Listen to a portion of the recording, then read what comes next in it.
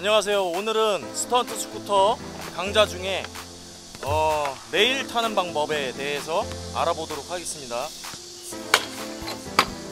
어, 여러분들이 보면 park나 street 많이 타는데 어, 레일을 타는 친구들이 별로 없어요. 렛지는 많이 타지만 이렇게 된 렛지 타는 방법은 많이 알죠. 제가 강좌에도 올려놓고 했지만 여기 동그란 거 동그란 레일 타는 방법을 잘 모르는 것 같아요. 이게 렛지랑 레일이랑 생김새만 다르지 타는 방법은 동일합니다. 모양이 다르다고 해서 타는 방법이 다른 게 아니고요. 어, 타는 방법은 똑같아요. 그러니까 어떻게 타는지 우선 간단히 설명을 하고 그 다음에 타는 모습을 한번 보면서 또 설명하도록 하겠습니다. 자, 오늘 어, 레일 강좌는 어, board slide board slide를 기준으로 설명을 해드릴게요. feeble은 지난번에 렛지에서 타는 방법을 설명했고 어, board slide도 크게 다르지 않습니다. 그래서 우선 이 레일에서 어떻게 균형을 잡아야 되는지에 대해서 한번 알아볼게요.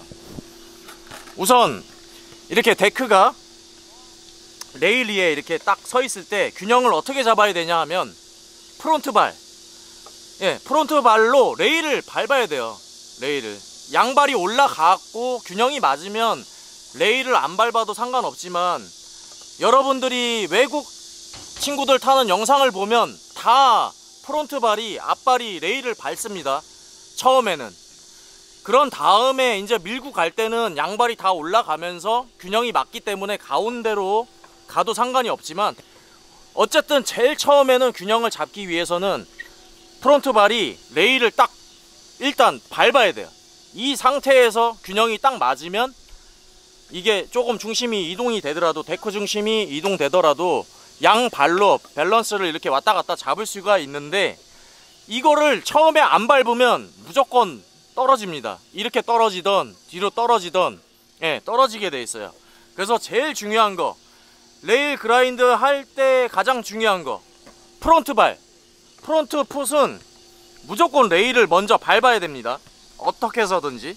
그리고 두 번째로 handlebar. handlebar의 위치는 진행 방향 쪽. 진행 방향 쪽으로 틀어줘야 돼요. 그래야지만 내가 점프를 뛰었을 때 이렇게 넘어가지가 않아요.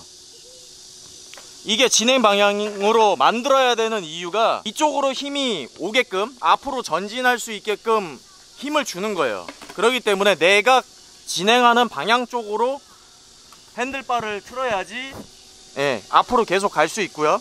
만약에 이렇게 되면 밀려 가지고 그냥 넘어가게 됩니다. 그래서 한번 간단히 짧게 어떻게 타는지 수빈이가 시범을 한번 보여줄게요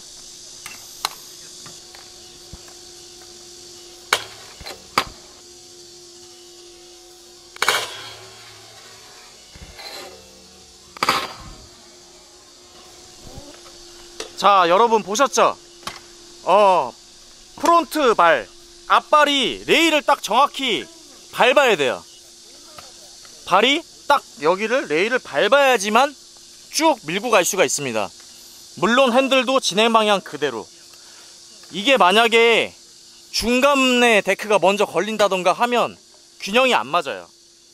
그러기 때문에 무조건 레일 grind 할 때는 앞발로 앞발로 레일을 딱 밟는다고 생각을 하세요.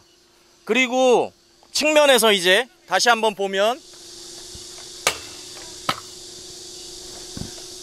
자 측면에서 보면 어, 몸을 약간 앞으로 던져야 돼요. 데크랑 같이 몸이 이동할 수 있게. 어, 보통 레일이 조금 무섭다고 생각을 해서 몸은 안 가요 처음에는. 수빈이 친구도 아마 처음에 그랬을 거예요 그냥 무서워서 얻는 거 자체가 스톨하는 거 자체가 어, 무섭기 때문에 그리고 레일이 미끄러지기 때문에 몸이 자연적으로 뒤로 이렇게 안 가려고 버팁니다. 그러면은 스쿠터만 가버리고 몸은 뒤로 빠지니까 뒤로 넘어지겠죠. 벌러덩 미끄러지겠죠. 그래서 그라인드 할 때는 확실히 속도를 천천히 내더라도 몸을 앞쪽으로 같이 던져야 돼요. 점프 뛰면서 동시에. 다시 한번 보도록 하겠습니다 자 이번에는 천천히 밀어볼게요. 천천히. 아주 느린 속도로.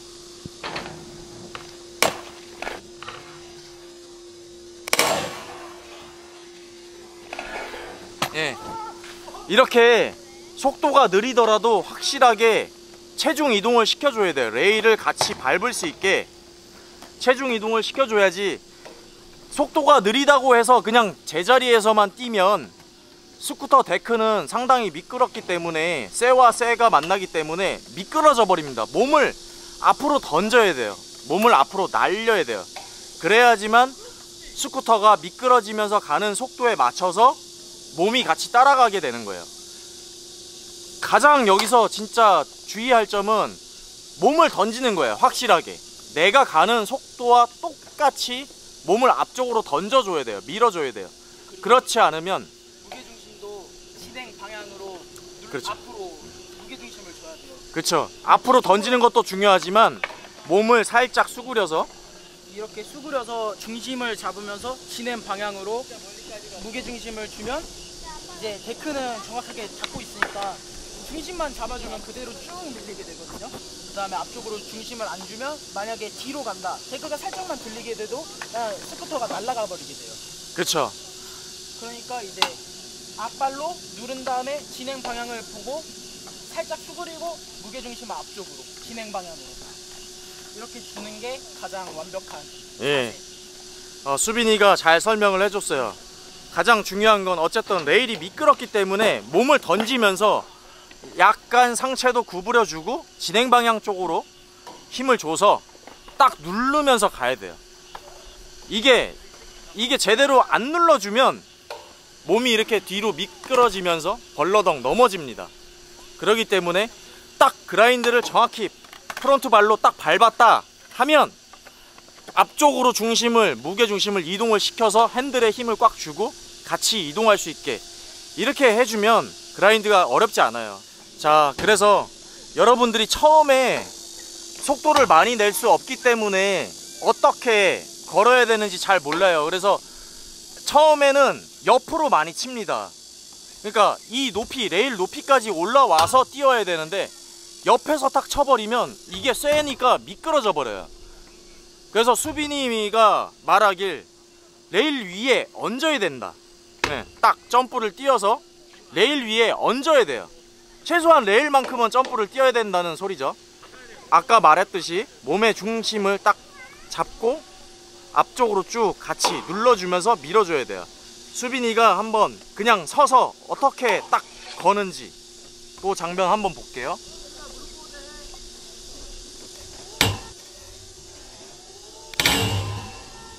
예, 딱 보면 위에서 딱 누르죠. 옆에서 치는 게 아니라 다시 정면에서 한번 볼게요. 그렇죠. 자, 이렇게 딱 레일 위에서 눌러야 됩니다.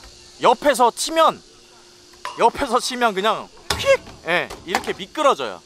그렇기 때문에 일단 홉을 레일만큼은 띄어야 돼요. 최소한 동시에 기울어져서 데크가 뛰면 안 되고 그냥 hop을 딱 레일 위로 뛸 수 있게 이렇게 해서 앞발로 균형을 잡고 제대로 딱 균형이 맞은 느낌이 오면 앞쪽에 체중을 실어서 핸들도 방향 유지한 채로 꾹 눌러서 진행하면 아주 쉽게 됩니다. 절대 어려운 기술이 아니에요. board slide는 특히나 feeble은 레일에서 하기 조금 힘들지만 board slide는 앞발만 잘 밟아주고 무게 중심만 앞쪽으로 잘 밀어주면 뒤로 벌러덩 이렇게 넘어져서 뭐 발목 다친다거나 이런 건 없어요.